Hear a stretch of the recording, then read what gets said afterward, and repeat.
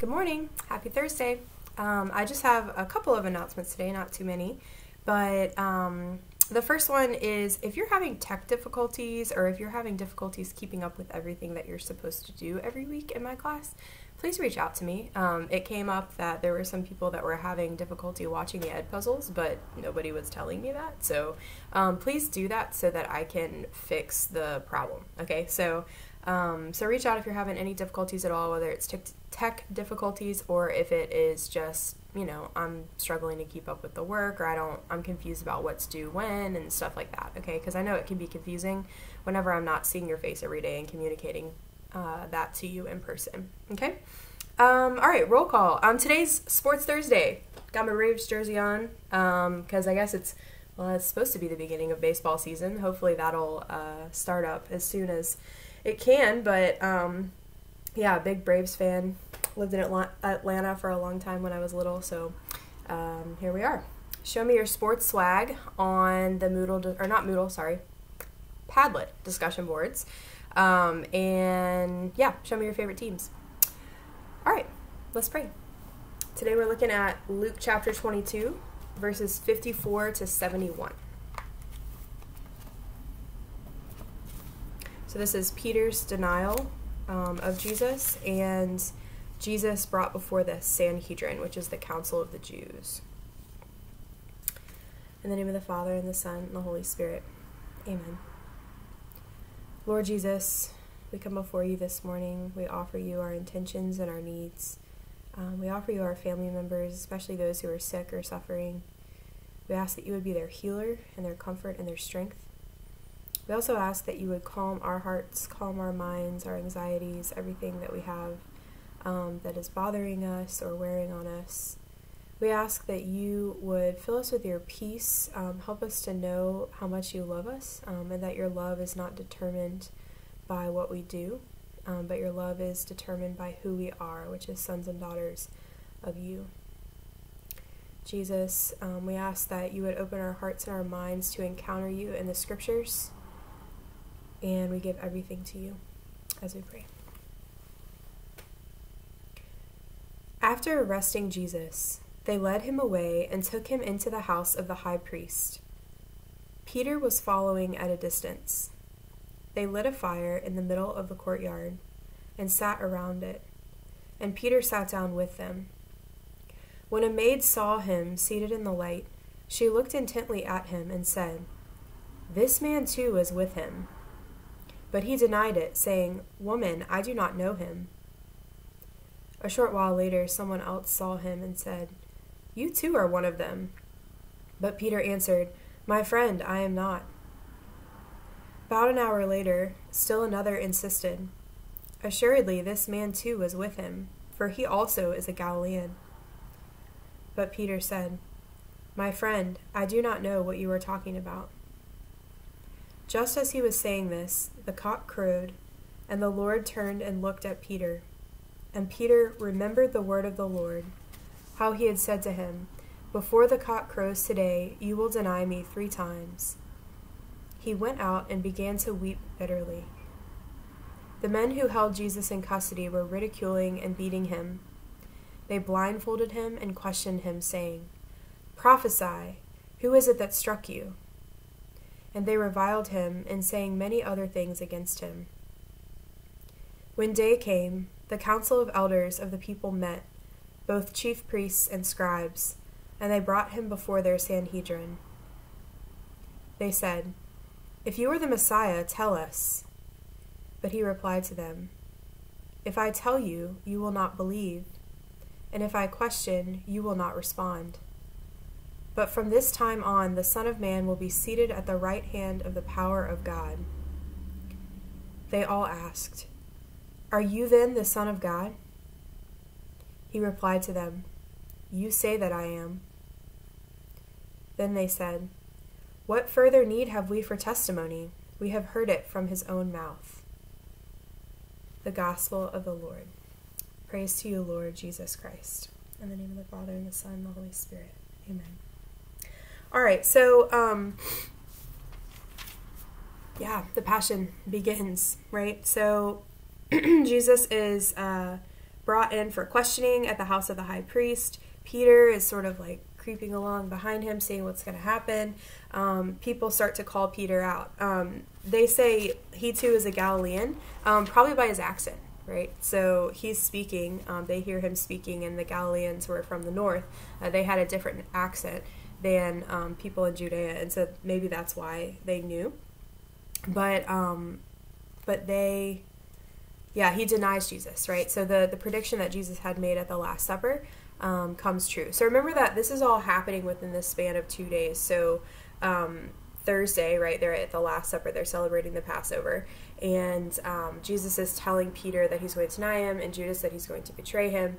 Um, and it's like later that night right? That they're in the garden and they're praying, and Judas comes and betrays Jesus with a kiss, and then there he's led to the house of the high priest. So this is all literally happening in the middle of the night, like the early hours of the morning or something like that. And then so now then um, at daybreak, Jesus is brought to um, the Sanhedrin and questioned. Okay, so they're in the meantime striking him, beating him, they're ridiculing him, they're doing all sorts of things to him um, to make him uncomfortable. And when they finally question him, he again doesn't give them straight answers at first because they are not going to believe him right? It's the same thing as when he was in the temple and the scribes and the pharisees and the, and the sadducees came and they were questioning him.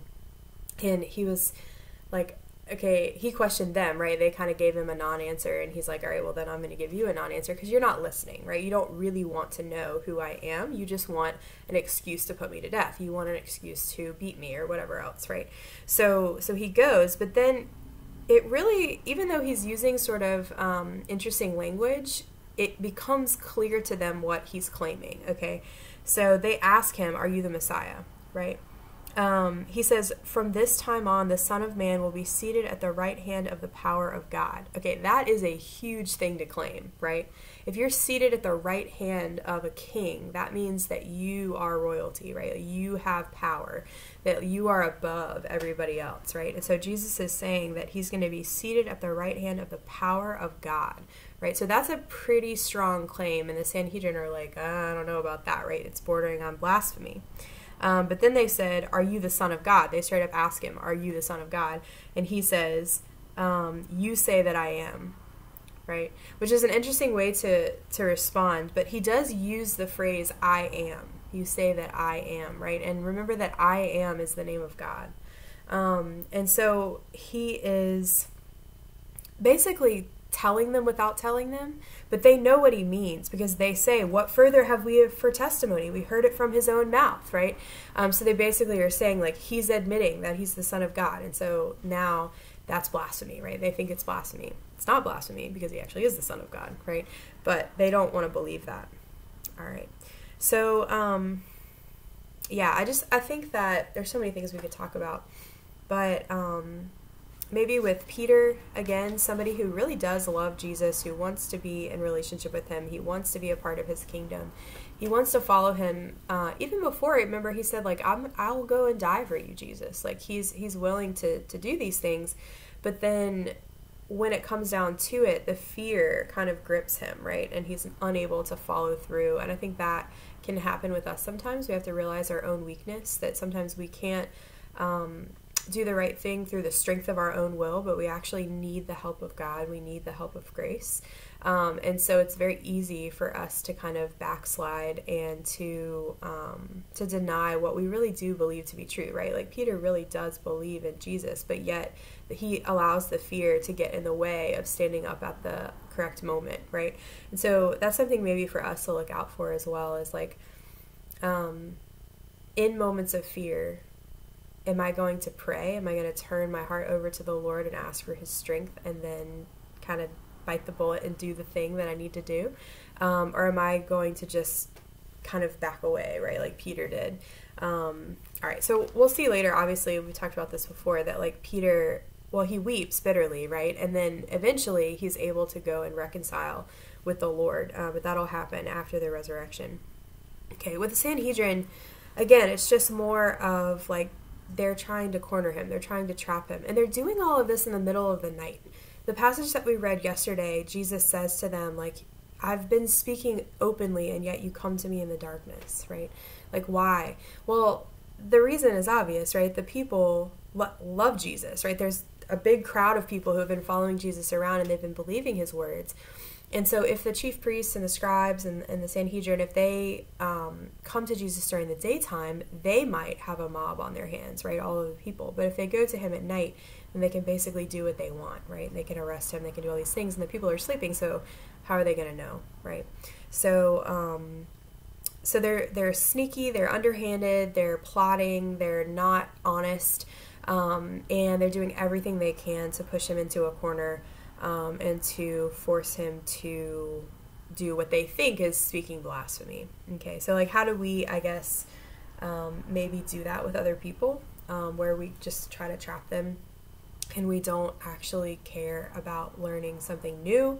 We don't care about uh, maybe hearing a truth that is difficult from them, but instead we would rather ridicule them, we would rather mock them, we would rather um, back them into a corner or try to force them to look stupid so that we can get the upper hand.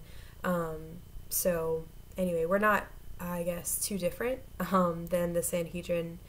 Obviously, just different circumstances in our lives, but um, all I can say is God's mercy is strong, right? So when we recognize our sin, um, we can turn to Him, we can ask for forgiveness, um, and He wants to take us back, right? So He wants to teach us how to be um, really true humans, um, to be the people that are fully alive and not people that are constantly stuck in the power of darkness, right?